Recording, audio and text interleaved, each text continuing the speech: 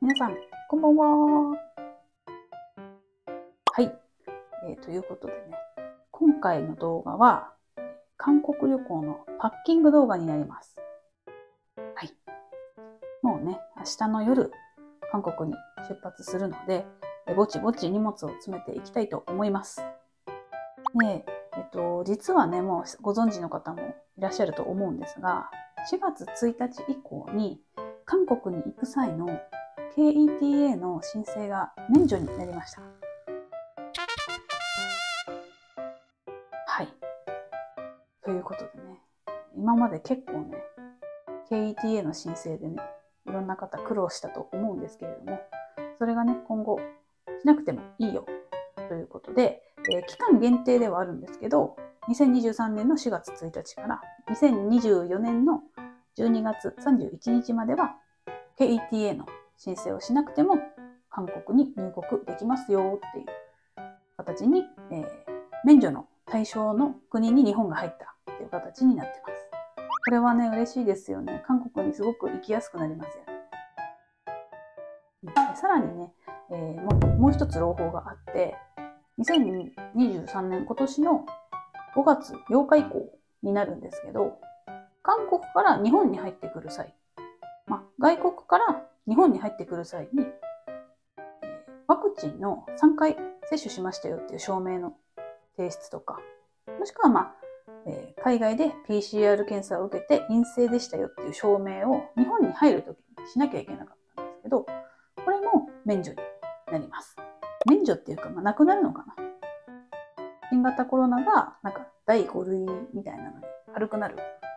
から、そういう措置がなくなるっていう感じらしいです。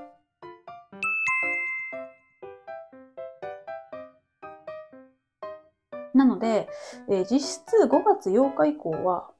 もう今までと同じ、実質今までと同じような形で韓国に行き来ができるようになります。ついにこんな時が来たんですね。嬉しいですね。はい、そんな感じでね、韓国旅行もすごく行きやすくなるっていうことでね、えー、嬉しい報告でした。ではね、ちょっとぼちぼちパッキングしていきたいと思います。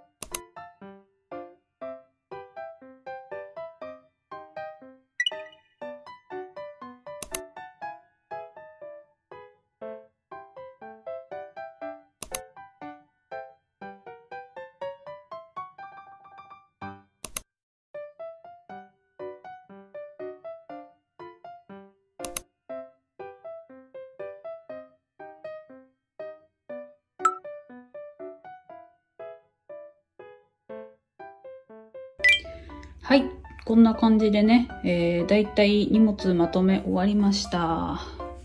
あとね、また、なんだろう。コテとかは直前に使って入れるので、そういうのを除いたら、ほとんどパッキングが終わりました。4分の1ぐらいにしたかったんだけどね、結構入っちゃったね。